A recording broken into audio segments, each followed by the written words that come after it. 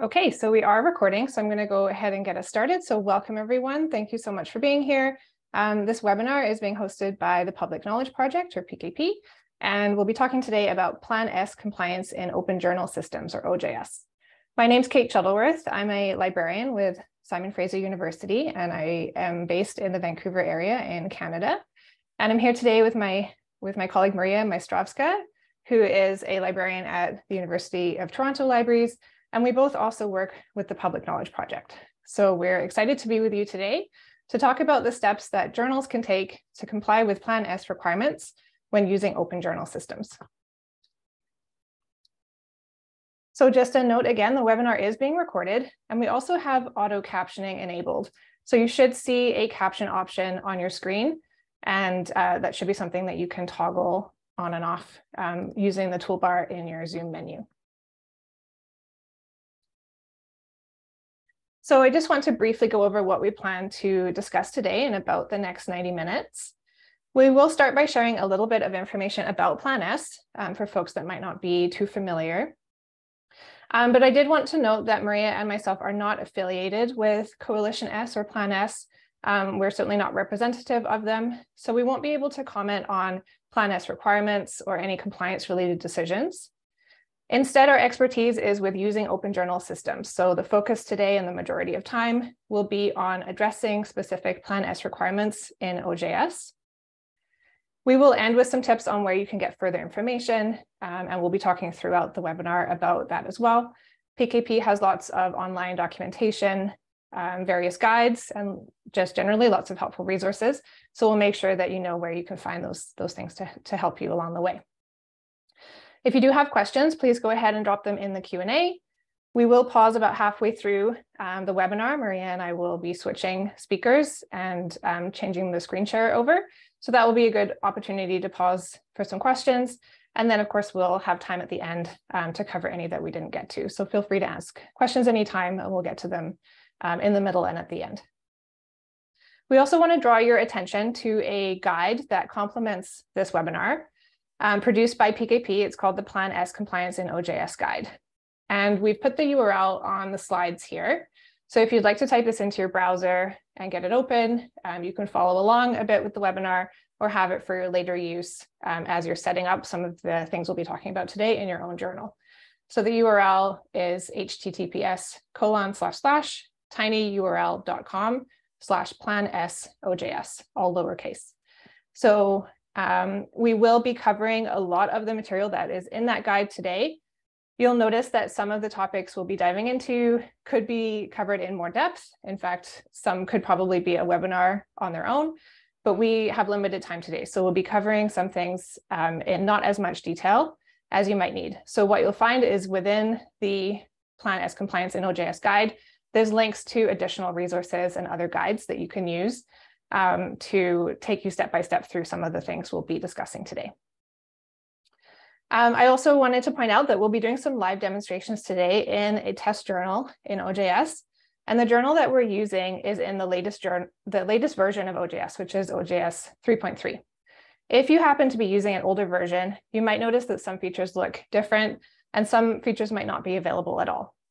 So we do recommend if you're able to, that you go ahead and upgrade your journal to the latest version, and that way you'll be able to take advantage of all of the features that we'll be covering today.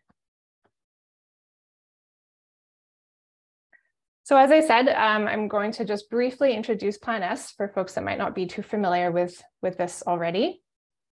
Um, but I imagine many of you have likely heard of Plan S. Um, Plan S is an initiative to promote open access publishing for publicly funded research, and the plan is supported by major research funders from around the world. And together, those research funders are known as Coalition S. Plan S uh, was launched in 2018, and the requirements took effect in January 2021.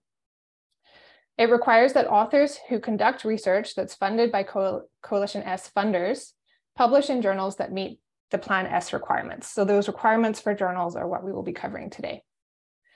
The plan consists of 10 principles, and Plan S has provided guidance on the implementation of Plan S, as well as technical guidance and requirements.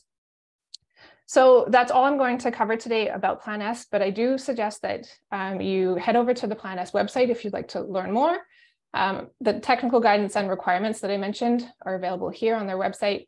And the um, what we'll be covering today in terms of how to comply with these in, in OJS follows more or less um, what you'll find here on their website in terms of what those requirements are. So I will point you there to learn more about Plan S and their specific requirements. And now we'll focus on what this looks like in open journal systems. Um, so briefly, I'll just, um, again, draw your attention to the guide and tell you a bit more about it um, that PKP's produced that, again, sort of accompanies this webinar. Um, the guide provides specific guidance for OJS journals who are looking to ensure that they're complying with Plan S requirements. Um, as I said, it sort of follows more or less in order the Plan S technical guidance and requirements, and it also links out to relevant PKP documentation on specific topics. Um, and as I said, the webinar today will cover much of the same content as the guide, but the guide goes into a bit more detail and provi provide some additional links. We will be starting today with the criteria that are required by Plan S, and then later on, we'll talk about some of the criteria that are just recommended by Plan S. Okay, so with that, I want to take us into our first set of requirements for Plan S um, that journals should be aware of. Um, and the first is just generally managing some policies in your, in your journal. So specific policies, of course, are set by individual journals. So we won't go into too much detail about what those policies will look like or what they will say beyond what Plan S uh, requires in terms of journal policies. But rather, we want to look at where you might put this information in OJS um, and in specifically in the most recent version of OJS. Um, so we've grouped these policies roughly into two categories. The first is review and editorial policies, and the second is open access, copyright, and Creative Commons policies. So Plan S requires um, so again, certain types of policies and, and specifically they're looking for details about the type of peer review that the journal conducts, the publication frequency of the journal, some guidelines for authors, codes of ethics, which might include things like a statement on plagiarism and conflicts of interest, as well as editorial statistics that need to be published on the site. And we'll look at the statistics piece a bit more later on. Um, we do have, oh, PKP does have a guide on journal policies and workflows as well. If you're looking for some more guidance on what these policies might look like, um, that's linked from the Plan S compliance guide as well. So there's a few different places you might place this information in your OJS site, and I will take us into the demo site to look at these in a moment. Um, but one place that journals quite often put these policies is in the field called about the journal. And this is its own field in the dashboard, but it creates its own um, web page on the main navigation on your journal site. You might also want to have a separate um, web page and call it something like journal policy. So I'll show you how you can set up a custom page. For things like author guidelines, there's also a separate field in the system. Um, you'll find it in the workflow settings under submission. And again, I'll, I'll point that out in the demo demonstration journal. And for guidelines for reviewers, um, you might put that in the workflow settings under review settings. And then additionally, you might have a public statement about how review is conducted. And that could go in any of the fields mentioned here about the journal or a separate page. Um, so here I just have a couple of screenshots, but again, I'll take us into the live journal as well. Um, so this is a sample of an about the journal page. And what we've done is just created some headings for different types of policies the journal might have. Um, so for example, you can see the peer review process, the publication frequency, author guidelines that are all required by Plan S. Um, oh, my circle moved here, but this is an example of uh, review and editorial policies on a custom journal page. So instead of about the journal, here I've created a separate page in the navigation, called it journal policies. And this just has the same information as you saw before on the about the journal page. Um, as I mentioned in the workflow settings, there's a place for you to place author guidelines, and these get published on the submissions page on the site. So information for authors. And then information for reviewers can go in the review guidelines, and this gets seen by reviewers when they log into the journal after they've been asked to review. So the next set of policies I'll quickly cover are around open access, copyright, and Creative Commons. So for open access policies, um, the nature of your policy might vary somewhat depending on whether your journal is subscription based or fully open access. Um, but in either case, journals must enable authors to publish with immediate and permanent open access without any kind of technical or other form of obstacles under an open license. So there I was just quoting from the Plan S requirements. So subscription journals, what this means is they must allow authors to self-archive the author accepted manuscript or the version of record in an open access repository at no extra cost and with no embargo. So there, there can't be a delay to making the work open in a repository. Um, and for open journals, this would mean publishing the work with an open license um, directly on the journal site.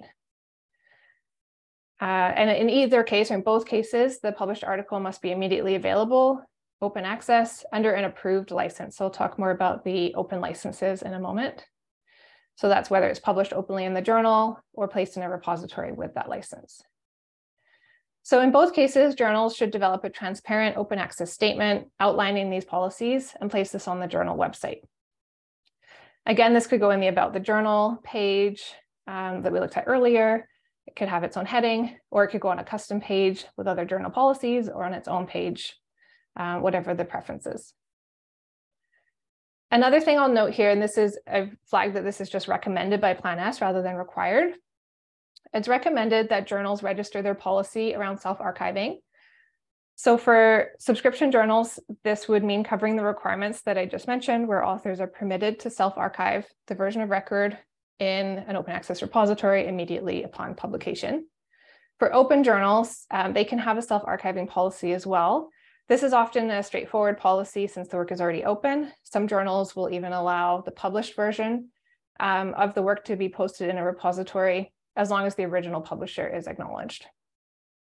So the tool that is recommended for registering this policy is called Sherpa Romeo. Um, it's a tool that authors can use to check the self-archiving policy of a particular journal. So when they're choosing where to publish, this might be one of the considerations. Um, so this is where Plan S recommends that journals place their self-archiving policy. So I'm just going to open it up here so you can see what it looks like briefly. And if we quickly search for an open journal, we can see the record that they have in the system. So they have their publisher policy, and then they have a separate policy for each version of the paper that can be deposited. It shows, for example, no embargo, the license that will be used, um, and the location where this work can be placed, in, for example, in an institutional repository, and then so on to the accepted version. Just to give you a sense of what that looks like. And on this slide, I just have a screenshot of what we just looked at. So I'll just breeze through this, but again, just example of an open access journal self-archiving policy in Sherpa Romeo. And this is where, again, in your about on the, your about the journal page or wherever your journal policies are, you could place your open access statement under its own heading with some details about what this policy looks like. Again, depending on whether you're subscription or open access based, um, you might have different wording here. So the next piece of this is around copyright and Creative Commons. So Plan S requires that um, journals allow authors to retain their copyright at no additional cost. Um, Plan S also requires that open access journals use an open license for the articles they publish. So this license will give permission to the public to share and adapt the work for any purpose, including commercially, providing proper attribution is given, given to the author. And as we've heard for subscription journals, this means allowing authors to deposit their work in an open access repository, which uses one of these approved licenses. So Plan S does require Creative Commons, or sorry, recommends Creative Commons licensing to meet this requirement, but there are different types of open licenses that would fulfill this need as well. So what I want to do is just briefly, um, for folks who might not be too familiar with Creative Commons, just run through the licenses specifically that are um, allowed or required by Plan S um, because they don't allow every license. Um, so what I want to do here is actually open up this um, diagram. This is in one of PKP's guides um, that I mentioned earlier, the Journal Policies and Workflows Guide. So we have a section on choosing a license for your journal. Um, and this graphic can be quite helpful to demonstrate how the most open license is this one at the top that just requires attribution, but otherwise the work can be shared, um, distributed, remixed, and built upon, um, even commercially, as long as the original is credited. Um, so this is the most open license with Creative Commons, and it's the default license required by Plan S or allowed by Plan S. However, the share alike license is always is also allowed um, by Plan S. This is only slightly more restrictive than the attribution license. So you'll notice attribution is still required to the original creator. The difference here is that any new um, product that's created based on the original has to be shared with an identical license. So that Creative Commons license has to be used again if someone creates a reproduction. Going further down, um, I'll just, I'll come back to this no derivatives one in a moment, but the non-commercial license is not permitted by Plan S. So this um, says that the work can be shared or reused, tweaked and built upon and so on, um, as long as credit is given to the author and the work is not used for commercial or, or profit purposes. Um, but this license is considered too restrictive under Plan S. Um, so it's not, it wouldn't be considered compliant. And the same with these ones we see further down, you'll see that non the non-commercial clause is included here, so neither of these are permitted either. The no derivatives license, however, is permitted on a case-by-case -case basis. Um, if there's a rationale for why it's needed, an author can get permission from their funder to publish using a no derivatives license. So what this means is, again, attribution is required, but in this case, the work can be redistributed exactly as it is, but it can't be modified or built upon it has to be unchanged um, when it is redistributed or shared. So that license is sometimes allowed, but permission is needed. So just to recap from the slide here, the default license is the Creative Commons attribution, the most open license that, or I'll say the most, the most open that requires an attribution. There is a license that does not require attribution um, called CC0, and that is essentially um, dedicating the work as public domain um, so that would mean that the work could be distributed and shared without giving attribution or credit to the original creator. So that one is, I would say, less common. Um, most journals would go with the attribution license. The share alike um, is also allowed, where the work has to be shared again with the same license. The non-commercial license is not permitted, and the no derivatives license can be requested with justification for an individual article with permission granted by the funder. So what I'm sharing here on the right is just an example of how this license will look on a published article page. So you can see some copyright details, including the author owning the copyright.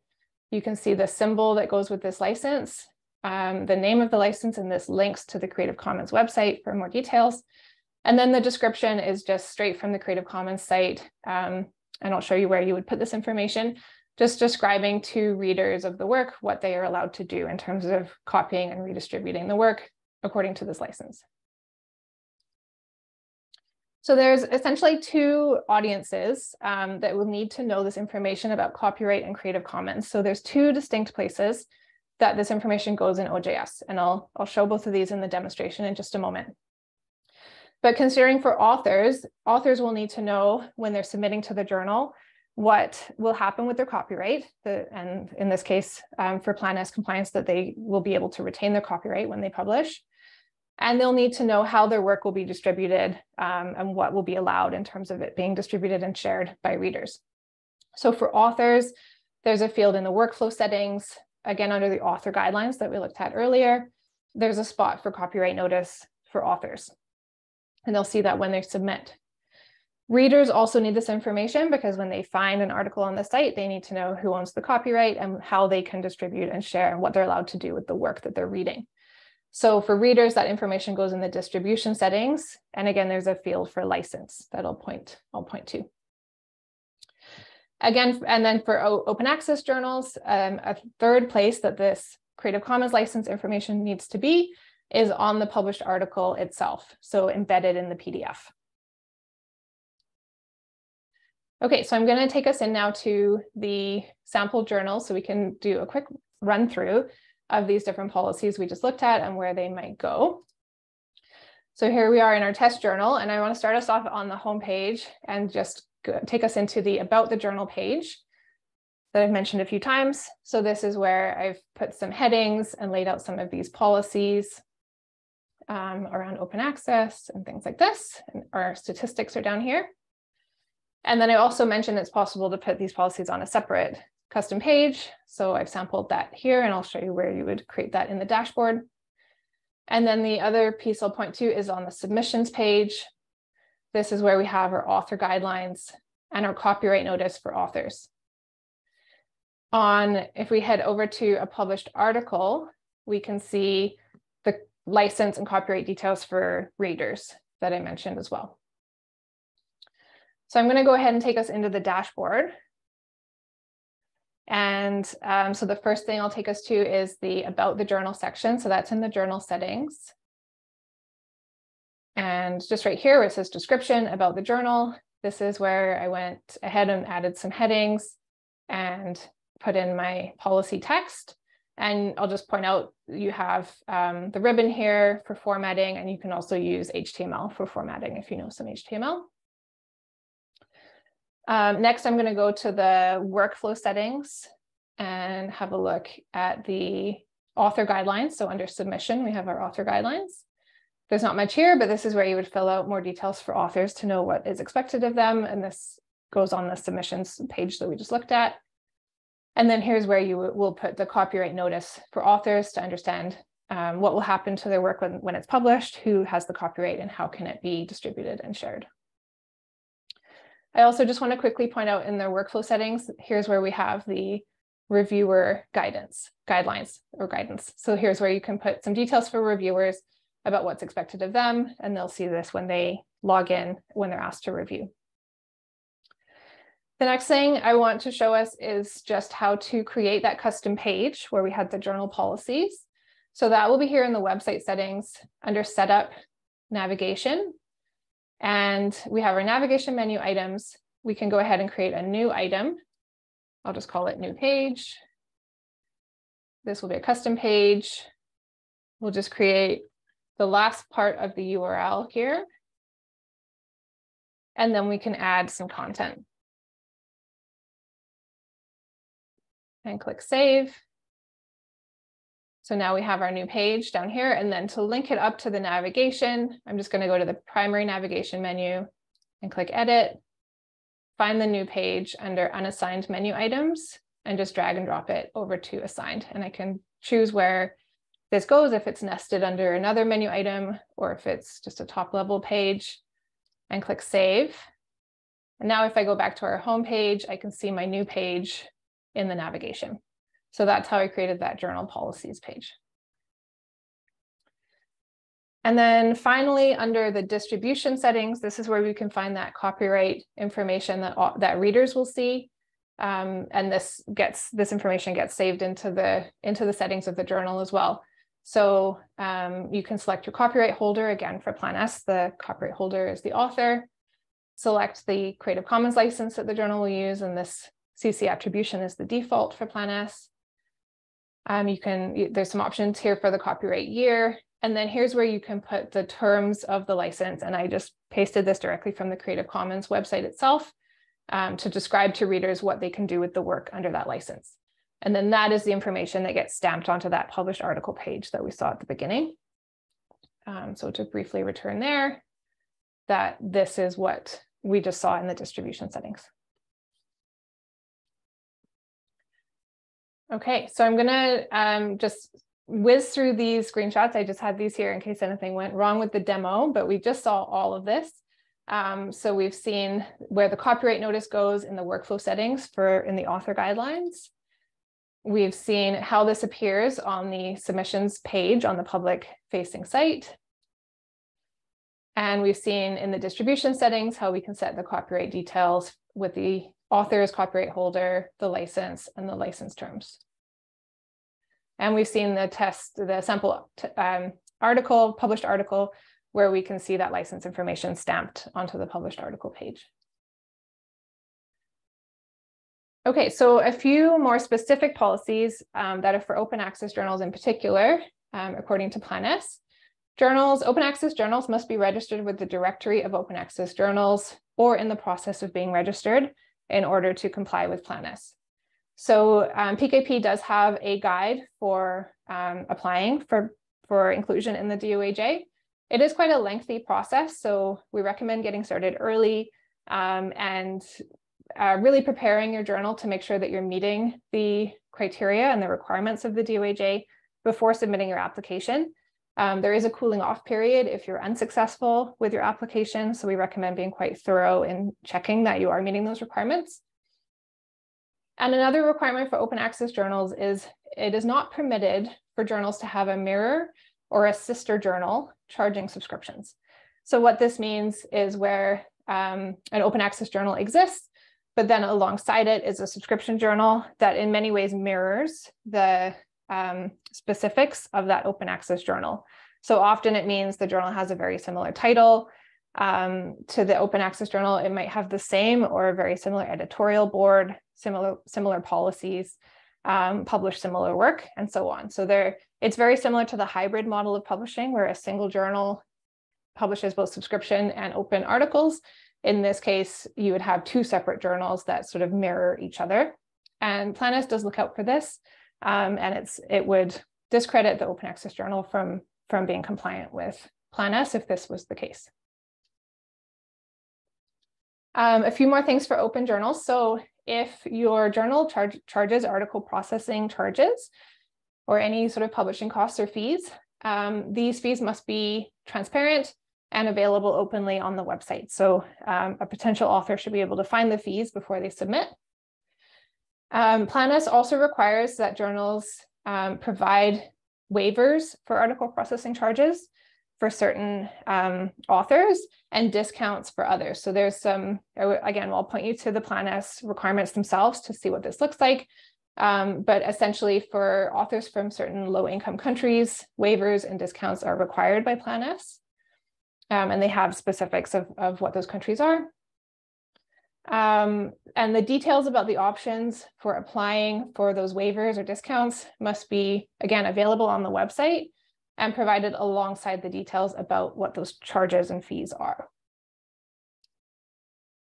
Um, so I'll take us to the sample journal again to demonstrate this, but I just have a couple of screenshots about where you would go to waive that fee if you are a journal charging subscriptions. So essentially when you reach the point um, where you are accepting the article and emailing the author to let them know the article has been accepted, so this is after peer review, um, you'll have the option to either charge the fee or waive it. And then there's also another place where you can do this at any time in the submission um, under the payments tab. So just to show you this in the journal itself, if we go to an article that is in review or reviews are completed and we go to accept the submission, it will give us the choice here to request the fee or waive the fee. And then, at, at, as I say, at any time up here in the payments tab, we can also just click waived and then save. So that's just how you would operationally do that um, if you're plan if you're charging subscriptions and you need to waive the fee um, as per Plan Planus. Um, okay, so the next thing I'm going to talk about is a requirement by Plan S to publish journal statistics. So um, I'll talk through what those statistics are that are needed and where you might place them on the site, and most importantly, how you can find them in your, in your journal in OJS. So Plan S asks for these statistics to be published annually and cover the number of submissions, the number of reviews that have been requested and the number of reviews received, the approval rate or acceptance rate, and the average time between submission and publication. So where you might put these statistics, it's really up to the journal, but for some suggestions, again, it could go on the About the Journal page under its own heading, or perhaps a separate editorial statistics page. Um, like I demonstrated earlier, you can create a custom page on the site for these. So I'm going to take us through where we can find each of these statistics in the system. And again, I'll go back to the journal to show us this. So the first one is the number of submissions received and the acceptance rate. So we're going to be heading over here under statistics to the editorial activity. And here we can filter by date. if we need to. So for example, we could say the last 90 days, the year to date, the last year, or the last two years, or a custom range. And this will give us the number of submissions received, the number of submissions accepted, and then of course, the difference between those two is down here under the acceptance rate. And this gives us the date range and the entire journal's history, that, that what that rate looks like.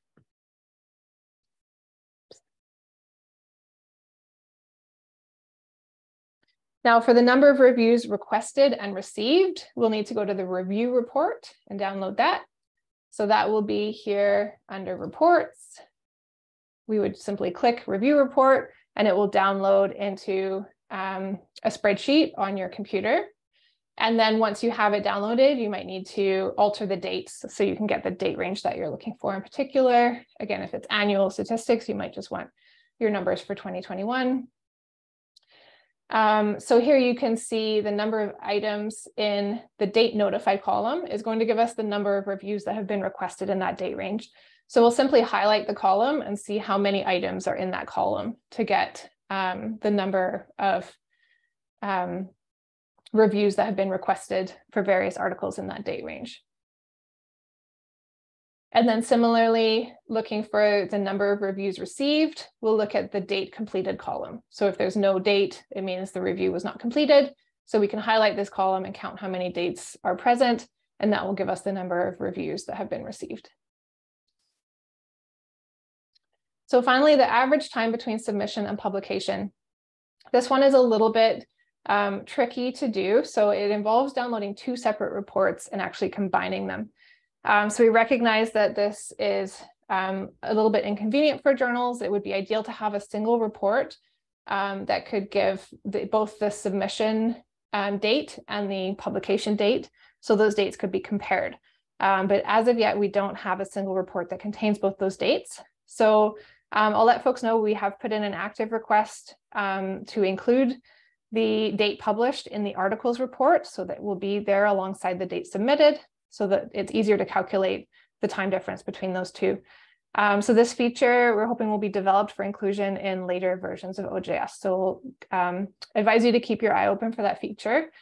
For now, um, I'll, I'll give you the workaround. So essentially you'll be looking at downloading both the articles report and the view report. So back in our journal, um, still under reports, we have the articles report here and the view report here. Download them both, look for the date submitted column in the articles report and the date published um, column in the view report. The next step then is to combine those two columns into a single report. So there's instructions for how to do this online. For example, if you're using Excel, you can use the article ID as the common unique identifier that, that then combines those two reports to make sure that you're aligning that those same articles um, with the same data. The result will be something like this. So you'll have a single spreadsheet with the date submitted and the date published. You can calculate the difference between these dates by taking the date published and minusing the date submitted.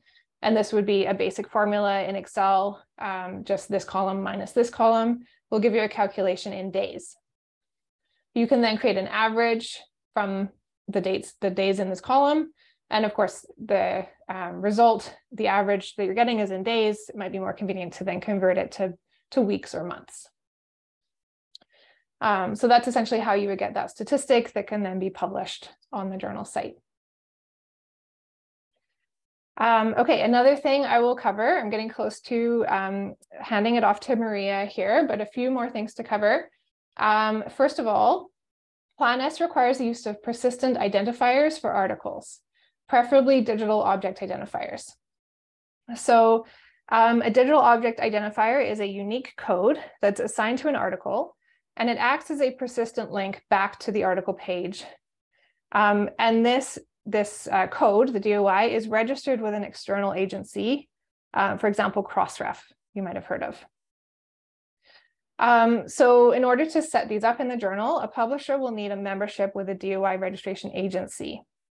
OJS assigns the DOIs, but then they need to be registered with that external agency um, where, the, where the membership exists. So this is what a DOI will look like on the published article page once, once it's set up. And clicking on that DOI will simply take you back to that article page. And as I said, it will provide a persistent link, always, always um, sending the user back to this particular article. Um, so the steps for setting up DOIs, um, the first thing a publisher would need to do is purchase a membership with a DOI registration agency. So examples are Crossref, already mentioned. There's also DataCite or mEDRA. Um, so this usually involves an annual membership. And there might also be content registration fees. So a, a small fee for each DOI that's registered. If your journal is affiliated with an institution, um, like a library or, or perhaps a consortium, um, they may already have a membership arrangement with one of these registration agencies, so you may be able to add your journal under their umbrella. So what will happen is uh, you purchase your membership and the agency will provide a DOI prefix, which can be used for all journals managed by that publisher. And you'll also receive a login and password, which you'll enter into the plugin in OJS. So you'll find the plugin, the relevant plugin um, in your journal, whether that's Crossref, DataCite, or mEDRA. Um, put in your credentials that you've received from the registration agency and check the automatic registration checkbox to enable DOIs to be registered when your issue is published. So OJS will do the registration on your behalf when you publish an issue. Um, one thing I want to point out is one of the requirements for DOIs under Plan S um, is that DOIs are available with versioning.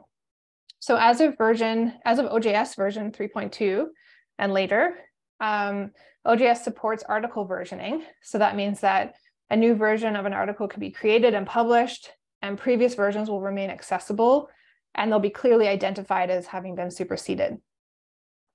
So the DOI assigned to the article always point to the most recent version of, the, of that article.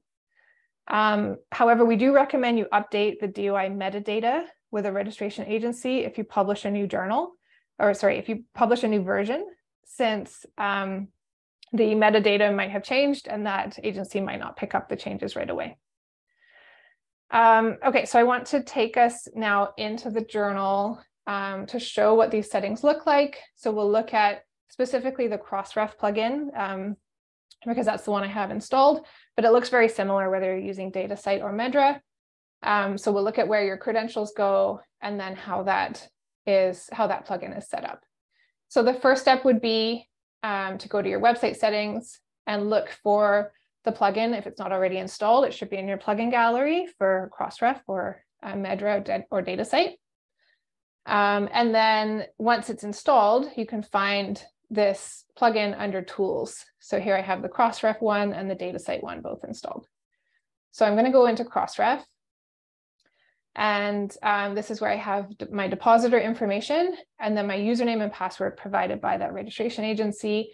And I've checked off the, um, the box that says OJS will deposit assigned DOIs automatically to Crossref. Um, a quick look at the settings. So we can decide which objects will have that DOI assigned We'll put in the prefix, again, provided by the registration agency, and this can be used by all journals that um, fall under that particular publisher. The DOI suffix, we usually recommend using the default. And then you can simply click save. What will happen is, um, okay, I'll just take us to the articles tab. So here we can see all articles that have been published already in the journal and their status in terms of their DOI having been deposited. So if the status shows they're not deposited, we can check off each article and click deposit, and that should send it on to that registration agency. Um, however, because we have the box selected for OJS to automatically assign the DOIs, we can also do this as we're publishing. So if I head over to a submission, I'll be able to go to the publication tab and go to identifiers and then simply click assign and then save, and that will set up that DOI for that article. Then when I publish the issue, that DOI will be registered immediately with Crossref. Um, and then if that doesn't work, again, I could head back into the Crossref plugin and deposit manually. That's sort of available as a backup. Um, and then finally, um, as we already saw, we have our sample article with our DOI embedded on the page.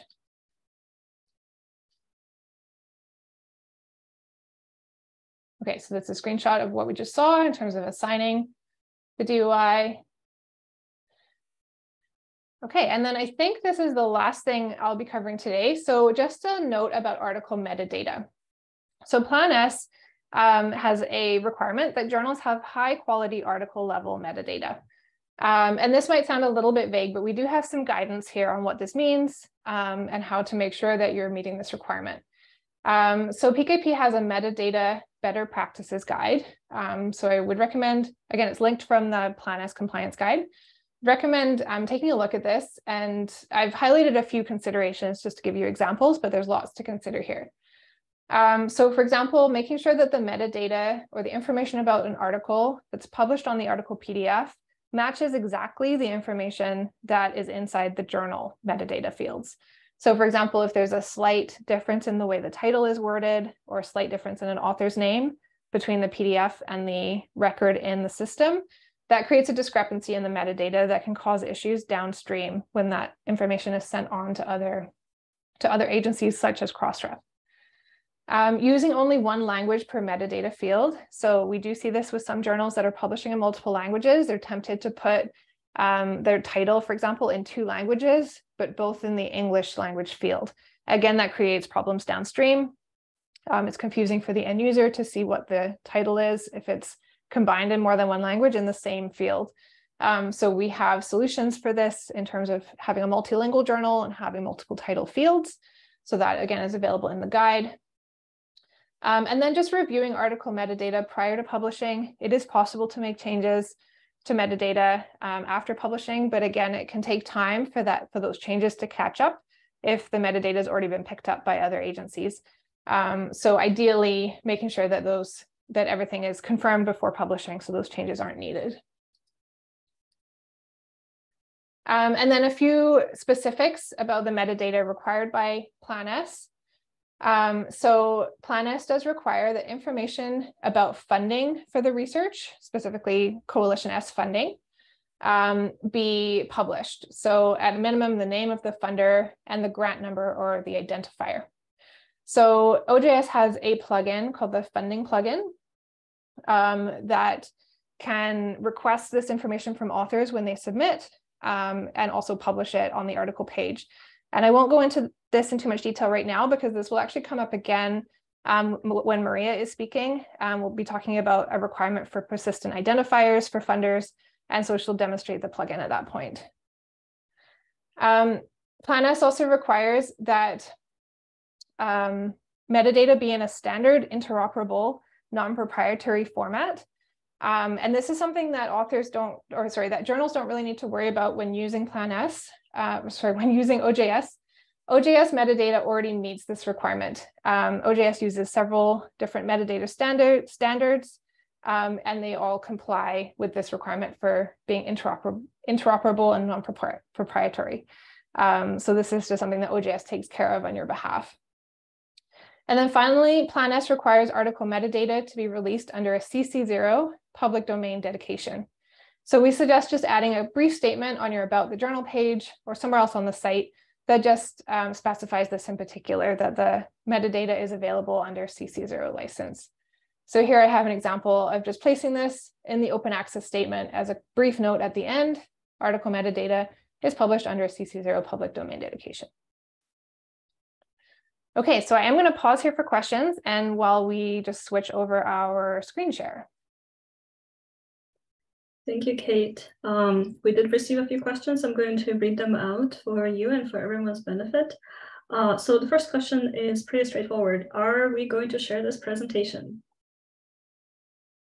That is, uh, we can definitely answer that. Absolutely. So we plan to share both the slides and the recording from today's session. The recording will actually be added to the guide that we've been sharing um, on the slides. So the Plan S compliance guide will include the recording from the webinar. Thanks for asking that. Perfect.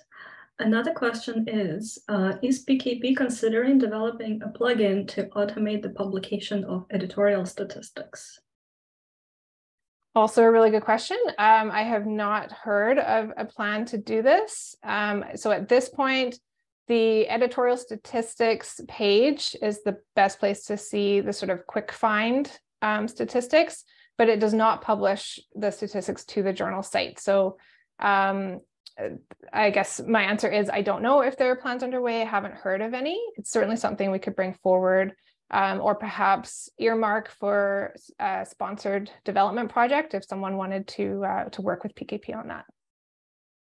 Thank you.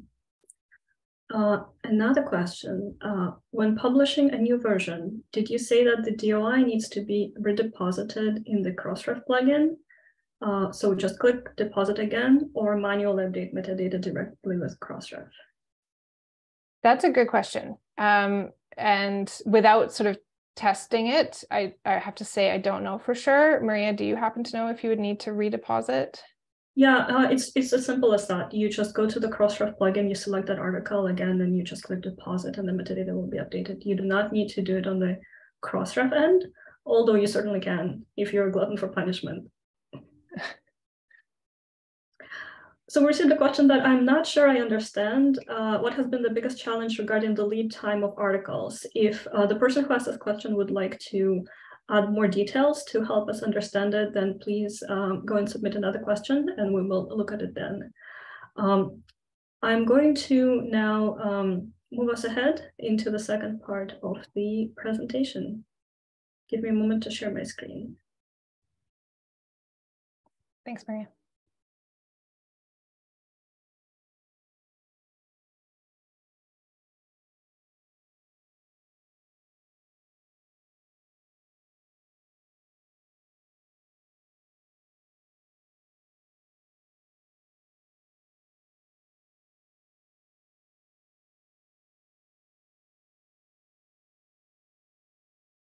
Can you confirm that my screen is visible? Yes, confirmed. Perfect. All right. Um, hi, everyone. Uh, for those who joined later, my name is Maria Maistrovskaya. I'm a digital publishing librarian at the University of Toronto, and I also work with PKP on a few projects, including documentation, in this case, Plan S uh, compliance and OJS documentation.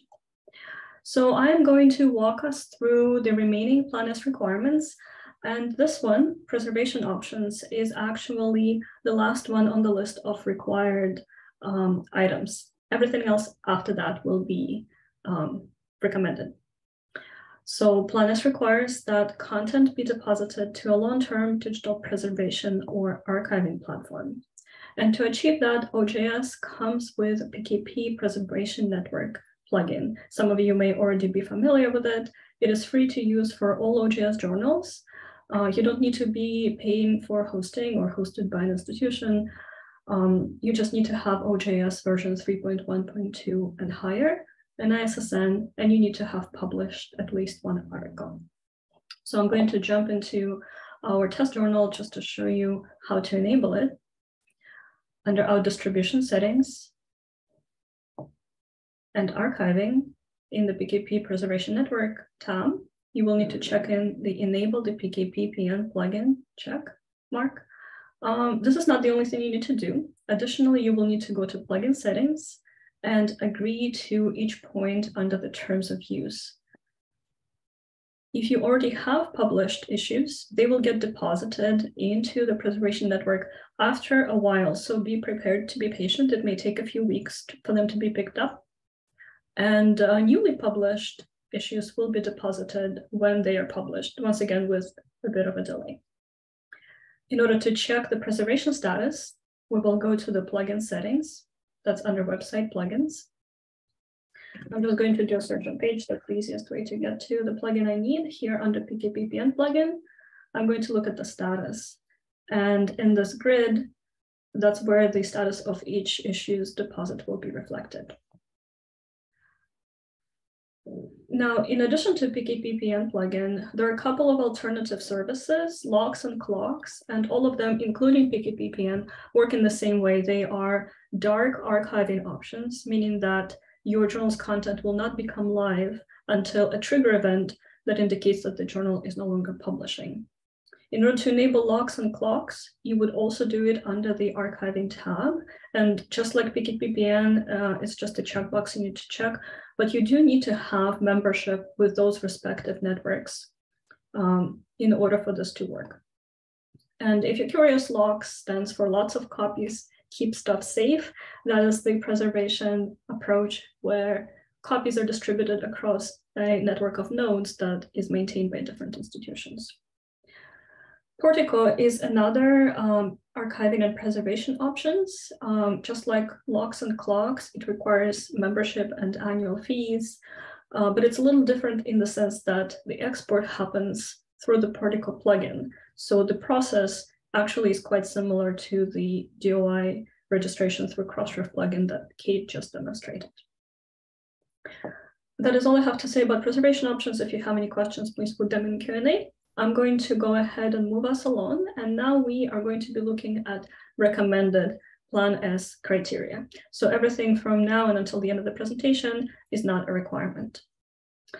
One of the things Plan S recommends is using persistent identifiers for authors, funders, funding, programs and grants, and institutions. This is different from persistent identifiers for articles, such as DOIs, which were on the required list. For each of the persistent identifiers that Plan S wants us to use, authors, funders, and institutions, OJS has a corresponding plugin, and I will show you uh, how those work. So for authors, we have ORCID ID. Uh, many of you may already be familiar with what that is. It is an alphanumeric identifier that um, uh, that serves to um, disambiguate author name variants or to bring together publications by the same author where the name may have changed. What ORCID plugin in OJS does specifically is it um, shows the ORCID ID next to the author's name on the published article page. It allows um, editors to request uh, ORCID authorization from authors and contributors, or it can send automatic requests and when a new user creates an account with OJS, it allows them to log in with their ORCID ID and pull some information from their ORCID record, such as their name and affiliation, depending on um, what information they made public in their ORCID record. Now, all of that you can use with the free public API. There are additional functions that you can use with the member API that does require payment and member API may be available to you through your institution or through your provincial or national consortium. For example, here in Canada, where we are, we have ORCID CA consortium that negotiates better membership prices for consortium members.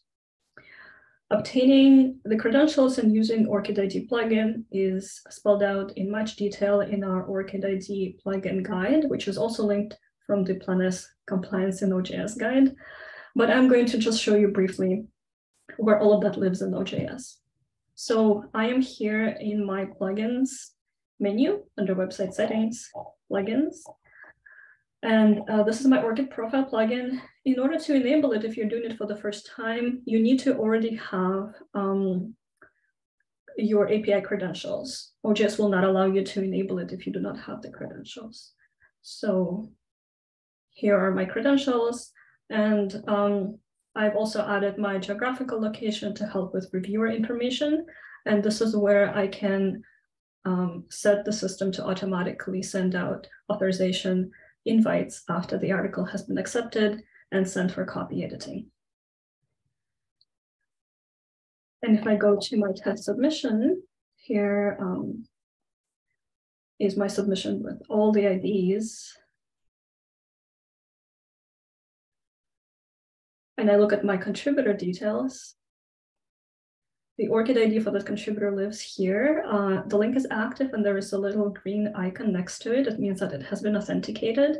But if there is no link here, I can scroll down to the ORCID section and check the checkbox, send email to request ORCID authorization, click save, and my contributor will receive an email with a link that invites them to authenticate their ORCID ID. And when the article is published, I'm just going to preview. Their ID will be displayed next to their name.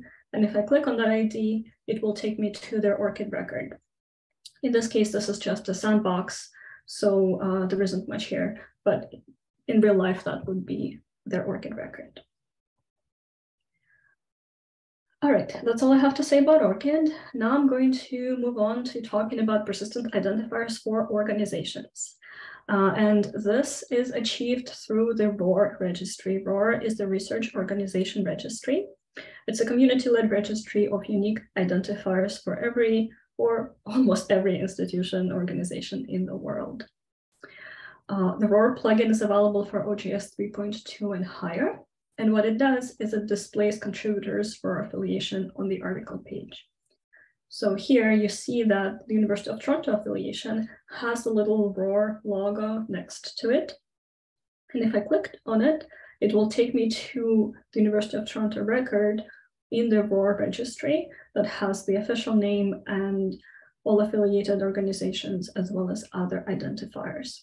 So the benefit of um, using the registry is that you avoid typing in different variations of the same institution's name. And if I go back to my submission, just to show you where it is,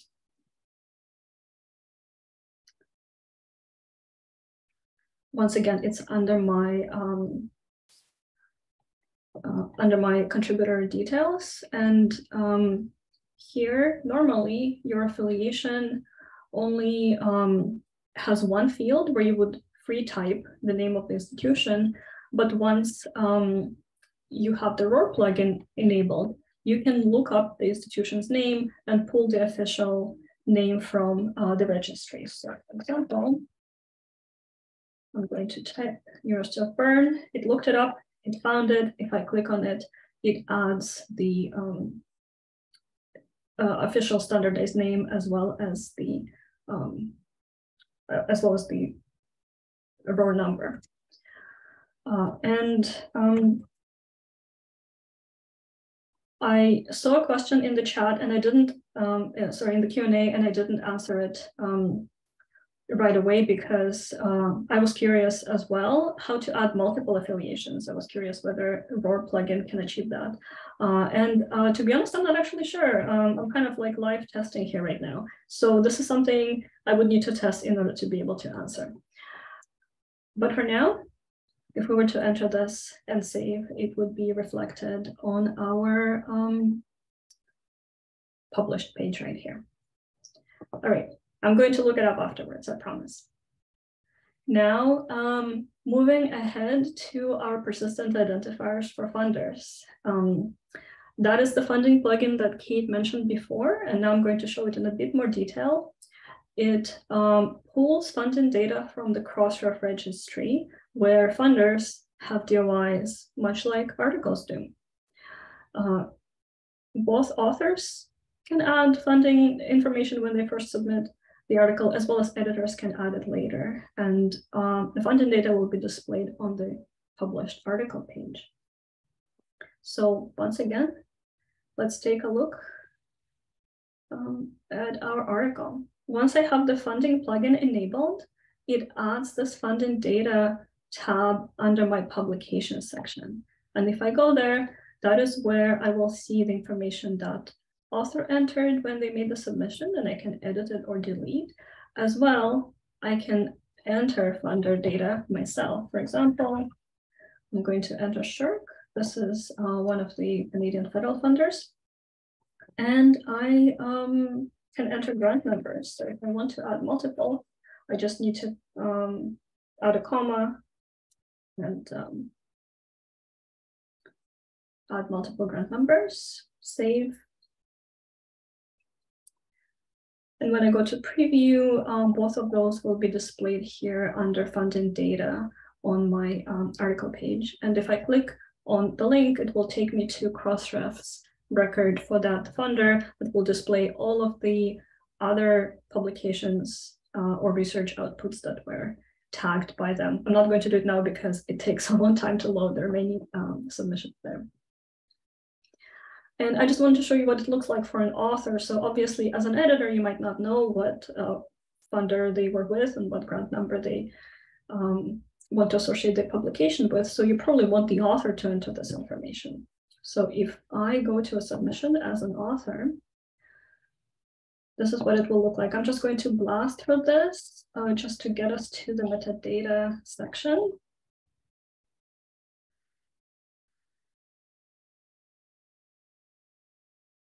save and continue, I'm going to upload a file. So this is our metadata section. Normally you would enter title and abstract and contributors as usual.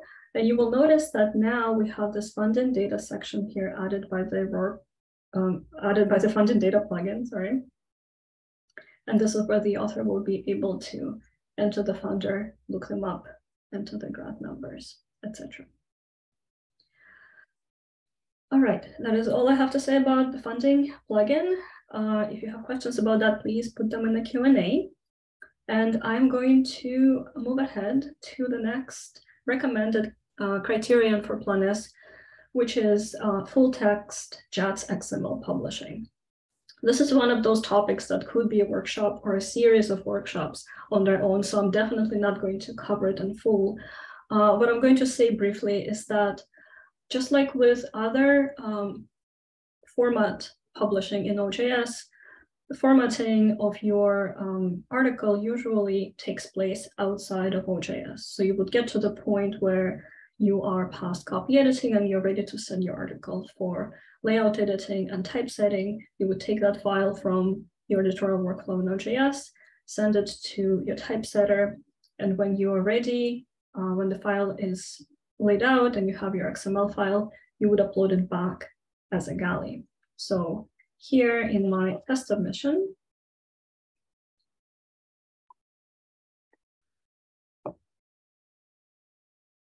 under galleys, I have added an XML galley and I uploaded a file that I just grabbed from a journal that publishes in XML.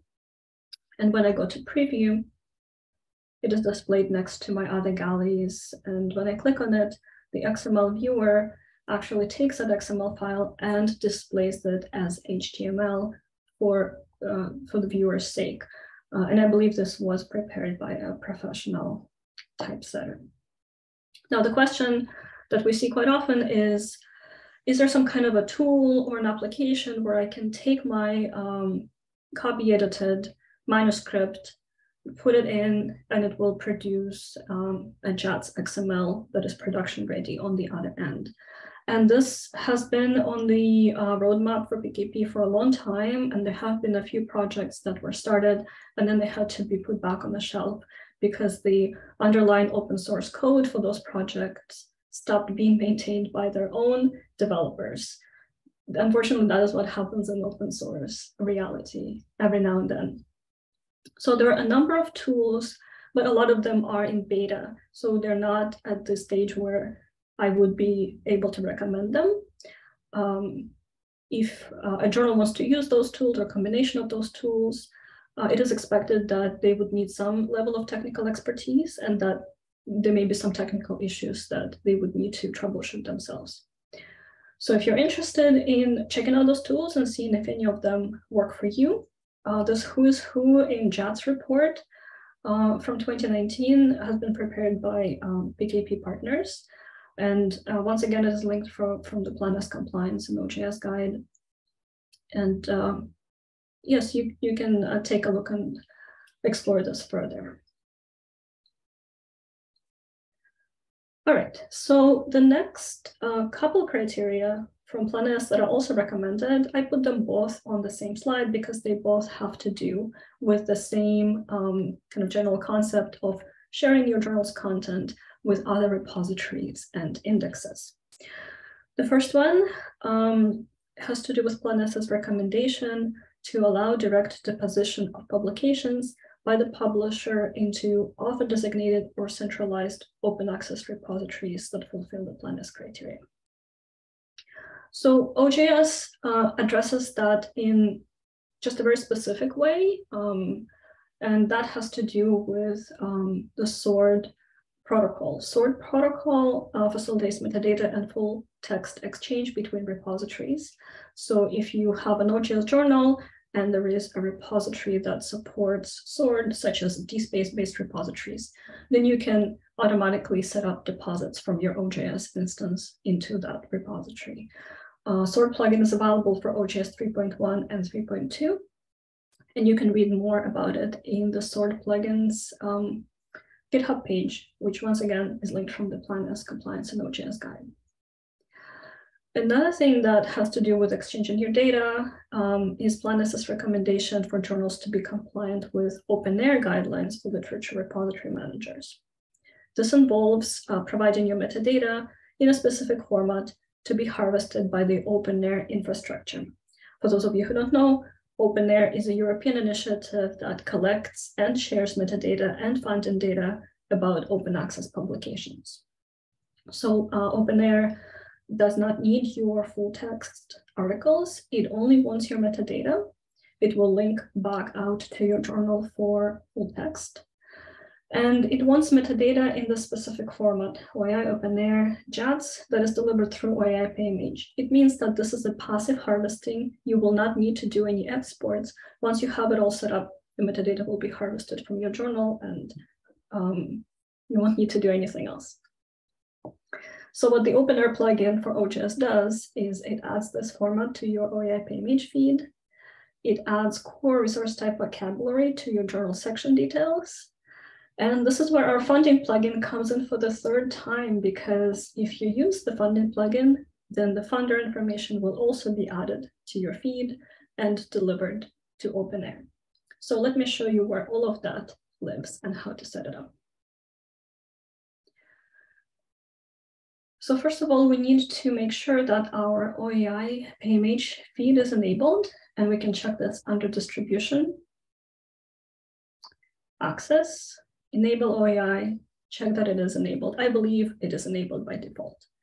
And if you also want to see what your OAI feed looks like, you can just add OAI at the end of your journal URL, and it will take you straight there. And under metadata formats, you can also see the different formats in which your feed is provided. Here is our OAI OpenAIRE JATS that is added by our OpenAIRE plugin because I already have the plugin enabled. Now, if you're wondering why this looks so terrible uh, and not at all user-friendly, that's because this format is for machines to talk to one another and to exchange data between them. So chances are you will not need to look at it again. So another thing I mentioned that the plugin does is it adds COAR resource type vocabulary to your journal sections. So under sections, if you go to edit, you will see that there is this dropdown now that allows you to select which of these vocabulary um, resource types corresponds to your journal section, and it will be included in your OpenAIRE feed. So after you set all of that up, obviously the key thing here to do is to actually tell OpenAIRE that you want them to harvest you. And how to register with OpenAIRE is covered in detail in the OpenAIRE plugin guide. All right, we're close to the end. I think I only have two left. Uh, another recommendation by Plan S is to link to uh, available research data that um, corresponds to the um, scholarly article that your journal is publishing. It is very easy to achieve in OJS by using a remote galley. So let me show you how it's done. Uh, I'm going to go into my test submission again. And I'm going to go to galleys. So this is where I created a galley that I called data, but I'm not going to upload my data into OJS. I could if I wanted to upload it as a supplementary file, but maybe you don't want to because it is too large. Maybe you want it to reside in a data specific repository that has more uh, data specific functionality. So in that case, you can check the checkbox that says this galley will be available at a separate website and then link that website. So in my case, I'm linking the data set in Zenodo. And when I go to preview, this galley will be displayed alongside other galleys. And if I click on it, it will take me out to that data set in Zenodo. Now, there is also a uh, plugin in development that will allow authors to deposit data into a Dataverse repository upon submission. Uh, so keep an eye out on it. And finally, I believe this is the last on my list. Plan S recommends that journals provide open citation data in a way that is shareable, freely accessible, and reusable according to the standards by the Initiative for Open Citations. So if your journal is open access, it does not automatically mean that your citations are open or can be reused by others. So there are a few additional steps you will need to take. Crossref manages citations through their cited by service. If you already are a Crossref member, then using the service is free for members and it is also optional, so Crossref will not actually force you to it. Since 2017, all new members references are open by default. But if you joined Crossref before 2017, you will need to check whether your journal's references are set to open. And Crossref does have lists where you can check that. Uh, and if it's not open, then you can request with Crossref that they open your citations. Now, of course, in order for someone to be able to reuse those citations and also for Crossref to be able to collect the cite and by statistics, you will want to actually send your references to Crossref. And in order to do that, you can use the Crossref reference linking plugin. So let me show you how that works. In order to use this plugin, we will need to do two things. First of all, we're going to enable the plugin and it lives under all of our plugins. Here, reference linking, you just need to enable it. The um, settings uh, tell you uh, what is going to happen, but there isn't actually anything you need to set up.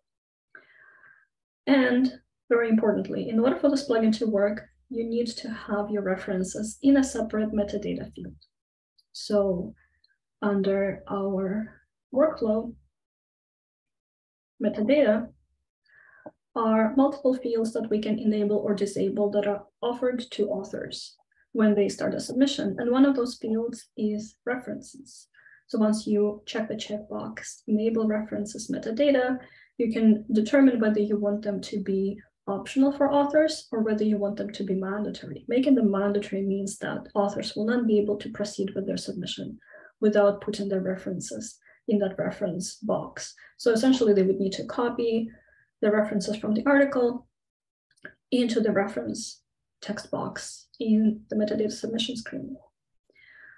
And later on, when the article um, is going through all of its normal course, as editors, you can also check those references and uh, you can make sure that they were entered appropriately. So here under publication references is where I copied and pasted my references from the article.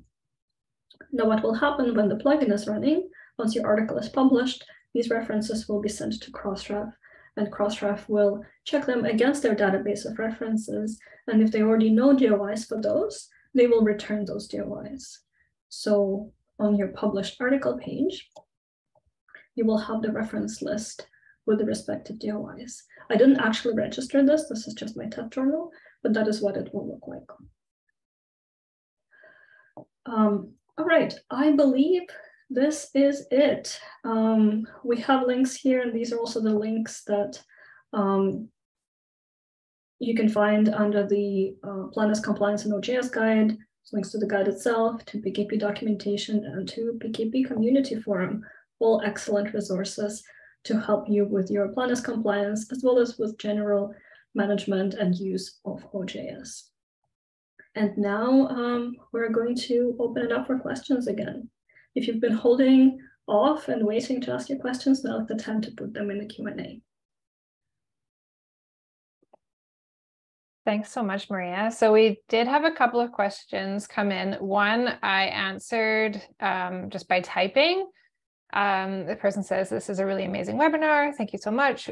Uh, will we be able to get access to the recording and will you be hosting more of these in the future? So um, I said, thank you. Yes, we'll be adding the webinar recording to the Plan S Compliance and OJS guide, so it will be available publicly. And we do hope to offer more webinars in the future. If you have suggestions for topics, feel free to send them via our contact form. So I put the link in my response there. Um, but if you if you go to the PKP website, you can just find the contact us page, and there's a form there that you're welcome to fill in if you'd like to suggest a topic that you'd like to see for a future webinar. Um, and then we have a question about ORCID. Um, so I actually haven't heard of this bug before, but um, that's not to say that others haven't experienced the same thing. So they're saying at our journal, often an author receives the email to validate their ORCID And when they click the link, they receive an email to say that verification has failed. And yet, when we check the submission, it seems to have worked. Is this a known error with the ORCID plugin? I have seen this happen, um, and um, it's hard to say without looking specifically at the journal, but I, I think I know which issue it was, and I believe it was resolved in your versions of ORCID. So make sure that your ORCID plugin is updated to the latest version, uh, and um, hopefully that will help. If you still continue to experience this issue, please feel welcome to post on our PKP community support forum. Uh, developers monitor that forum, including ORCID developer, ORCID plugin developer, so they will be able to help. Perfect. Thanks, Maria. Um, and then a question about references. What happens if the references that the author inserts at submission need to be changed throughout the peer review process? So if you're talking about that reference, um, uh, the um, metadata field with references, uh, those can be changed anytime. So if, if we're talking simply about the logistics of changing a reference, um, then that is pretty easy to do. So you would, uh, you can just uh, do it here under references, change it and save. Now, of course, this is something that you would want to coordinate with the author, right? Uh, if they have indicated that a reference needs to be changed, what does that mean for the publication? If, if that public, if that reference was kind of one of the one of the bigger underlying um, pieces of information that they used to structure their article around, and then they suddenly they want to change that. This is this we are kind of moving more into the publication ethics and how you would um, approach that. But logistically, yes, you can just change them here. Perfect, thank you. Um, a few uh, folks saying that they enjoyed the webinar, so that's really great to hear. Thank you so much. Um, okay, this is um, a question about distribution settings and copyright and licensing. So in the OJS distribution settings, so this might be one um, for me to answer, Maria. In the OJS distribution settings under license, I don't understand how you could have the copyright holder set to journal and also have checked a Creative Commons license. My understanding is that a CC license includes the attribution part of part to the author that, if I'm not correct, can't be transferred to the journal. Only the distribution part can be transferred, right? I would have thought only the author can set dispositions for attribution since this part belongs to them. Um, so it's an interesting question. So I guess I'll just return to one of the requirements of Plan S actually is that authors retain copyright. So this this might just clear up this question. Um, the journal is not permitted to retain copyright according to Plan S requirements. However, I would say Creative Commons can apply regardless of who owns the copyright. They are two distinct things. So if the journal did retain copyright, um, they actually could set a Creative Commons license. Um, Creative Commons is just showing how a reader can reuse the work um, and they have to give credit to the to the original author regardless of actually who has that copyright. So um, those two are not at odds with one another. You can have a case where a journal has copyright and they are still using that creative commons license. I hope that helps answer the question. Um, and then finally will the doi link to crossref need to be updated when the references are updated so if if the question is about the DOI of an article, and then if you update the references to that article, then the DOI link will not change. The DOI is assigned at the point when um, the article goes through the workflow and it is comprised of the um, of the structure that you have entered into your DOI plugin. Um, but if you have changed, if you have send your references to Crossref already. So you published your article, you're using the Crossref reference linking plugin, your references have been um, sent to Crossref and then returned with DOIs. And then you go to change them. So maybe you need to unpublish your article, make the changes, publish it again. Then yes, you would want to update your metadata with Crossref. So just like any changes that happen after your DOI has been registered, you will want to go into your Crossref um, uh, XML export plugin and just click deposit again. This will not change the DOI link, but it will send updated metadata to Crossref.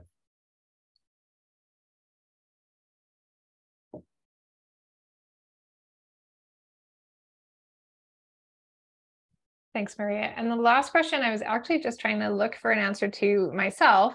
Um, is there a database of Plan S compliant journals?